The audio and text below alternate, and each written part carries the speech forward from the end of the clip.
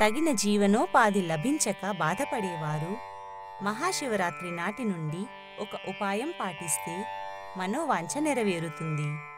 మహాశివరాత్రి మొదలు ప్రతిదినం శివాలయానికి వెళ్ళి యథావిధిగా పూజించి చెరుకు రసంతో అభిషేకం చెయ్యాలి. తరువాత నూట ఎనిమిది సార్లు ఓం నమో భగవతే రుద్రాయ అనే మంత్రం జపించాలి. అభిషేకం చేసేటప్పుడు కూడా ఓం నమో భగవతే రుద్రాయ అనే మంత్రం పఠించాలి. చెరుకు రసంతో అభిషేకించాక శుద్ధ జలంతో అభిషేకించాలి.